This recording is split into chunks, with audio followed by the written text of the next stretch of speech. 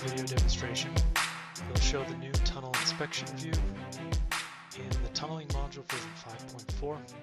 The tunnel inspection view can be used to view deviations for construction quality control, such as in shotcrete or excavation analysis.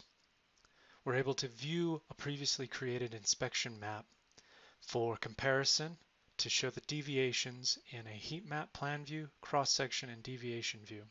This information is useful to show undulations in the surface, thickness, as well as out of tolerance locations.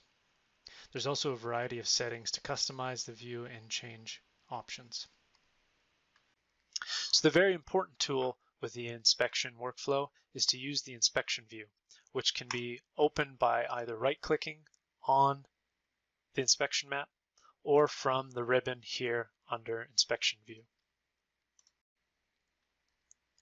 Once the inspection view opens, you'll see that it's an entirely separate view in TBC, which shows on the left-hand side a plan view.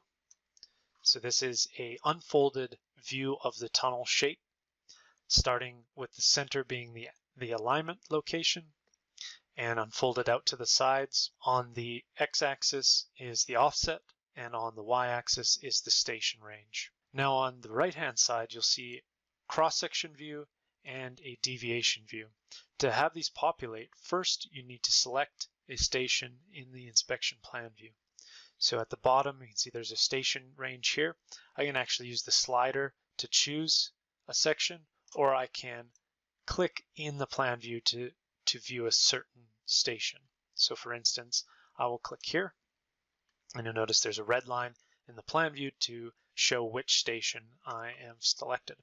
Now in the cross-section and deviation views, you see that the cross-section view has a lot of measurements along the profile, and it's showing in blue the base mesh, which was our design, and in red the excavation or compared mesh. And then it's showing overbreak and underbreak values, which are colored accordingly to what's shown in the plan view. And any values that are on the outside edge means they are overbreak, and anything on the inside values here labeled are underbreak. So we can see that all around the tunnel. Now on the deviation view, what we see at the zero along the y-axis is the ideal compared mesh. So in theory, if the two meshes were coincidence and there was no delta between them, the red and blue line would be the same. But in this case, a red line dictates the deviations between those two meshes. And starting from the left-hand side of the plan view, working away to the other side. This is very useful for analyzing undulations and smoothness in the surface. So in this case, we see there's significant deviations around the tunnel and we're not getting quite a smooth surface. But it also can be used to show thickness. For instance, at this value here, I can see that roughly 0.3 is the thickness at negative 3.5 offset. So for uh, analyzing shotcrete thickness, this deviation view is quite useful. I can also turn views on and off by clicking on the X button, and now I only have two views. I can also go to the view option at the bottom and show, click views to show so I can turn the deviation view back on if I would like. You'll notice that the in the plan view, the mesh is colored based on this color bar here on the right-hand side. To change this, I can right-click on the mesh, or in the bottom right-hand side, I can select this icon to change the color mapping. So here's the current color map, and this is the colors based on the deviations between the two compared meshes. I can choose various op options for changing that such as evenly spaced or actual elevations. I can manually change these values by going here. I can also insert values if I want by clicking here and inserting a new elevation. And I can also change this by several options such as space evenly. If I only wanted, let's say seven different colors, I can press that and now I have colors based on that. For instance, if I wanted to change the color if I didn't like this green color and I wanted to go with an aquamarine and I wanted to change this green to, let's say, more of a blue, I can change those and then press OK. and then the mesh course mesh up updates to match those colors. There's also options to save. So if you want a specific color table, you can save that file out and it will save as a TCF. And I can also load up those in any subsequent project.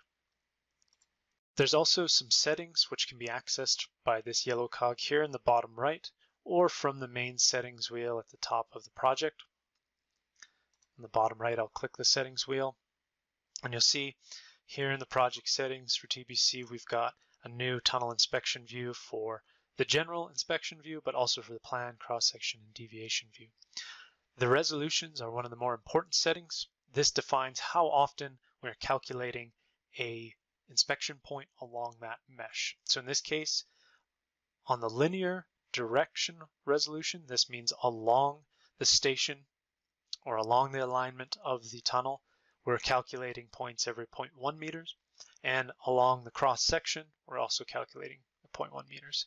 This is why we, we get so much points here in the cross section view.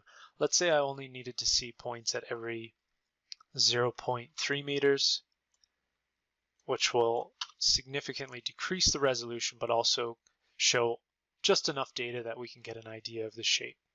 And I'll press OK. This will regenerate the mesh to show that that new resolution. And you'll see that it's updated and you can see it's slightly more pixelized because of that 0.3 value. And in the cross-section view, we've got a little bit more clean look of the tunnel. There's also a variety of other options you can change. You can use the show two colors only. In this case, it'll only show the over and under break color, so I've got them set as blue and red. And that will update correspondingly for the mesh. It's important to note any areas that are in black are areas with no data, so a mesh cannot be computed. Back in the tunnel inspection view settings, we can change some various options for the plan cross-section and deviation views, such as how the grid lines are shown. We can also change if there's a legend shown and the line style and so forth. In the cross-section view, we can choose to show different line weights. For instance, if I wanted to show a thicker line weight for the comparison, comparison mesh, I can choose that. Now when I press OK, see that the red line is much thicker and easier to view. Once I'm done in the tunnel inspection view, I can simply close it by going to the bottom and clicking the X, and this will open back up into the 3D